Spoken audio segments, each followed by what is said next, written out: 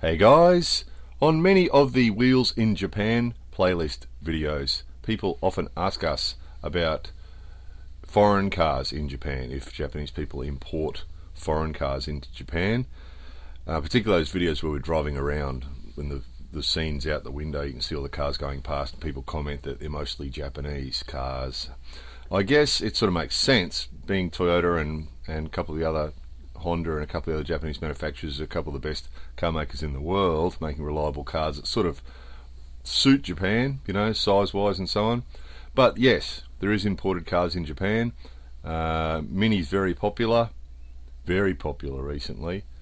So all we did here, there was no particular plan. If we saw a foreign car, we filmed it. So this will give you a cross section of what we saw, but we just sort of lumped them in together. So here's all the minis.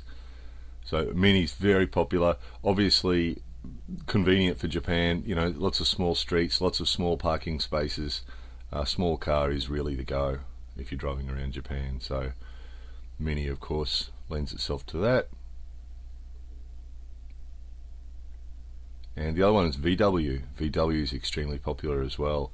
The sort of small size Kombi, that's not the standard size Kombi, is it? This is a smaller size Kombi. Tiny little thing it is. That one's only a thousand dollars, it's an old one. Look how small it is, really tiny. Here's another one that's the same. So not the standard Kombi size, tiny little van. Very popular. See lots of these. And then other models of VW as well. So the Beetle's popular. So the new Beetle is popular and older Beetles are popular as well. See old ones as well. And then the sedans and so on as well, very popular. VW, love VW, love German cars, in fact. Lots of German cars in Japan. So here's a place that specialises in them uh, Mercedes and BMW and VW. Very popular. There's a, oh, what's that? American car, isn't it? I wasn't close enough to get it. It's actually very, very far away, that one. It's a Chevy, isn't it? Chevrolet? Maybe? I can't remember. You guys will know. Tell us what it is as you can see, it was very, very far away.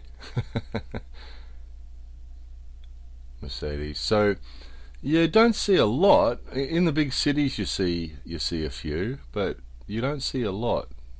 Uh, prestige cars, they sort of like them, but then they can get Lexus and all that sort of stuff as well. So, you do see them, but not a lot.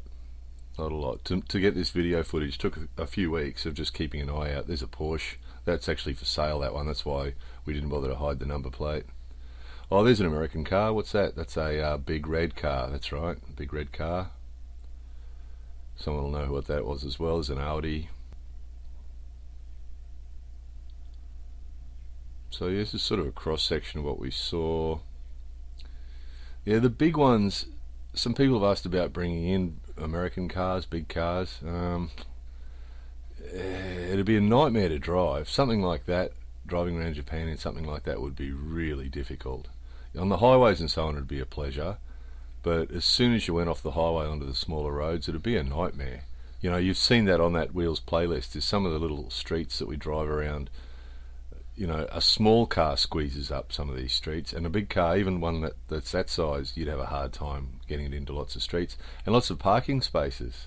You know, quite often parking spaces are really tiny.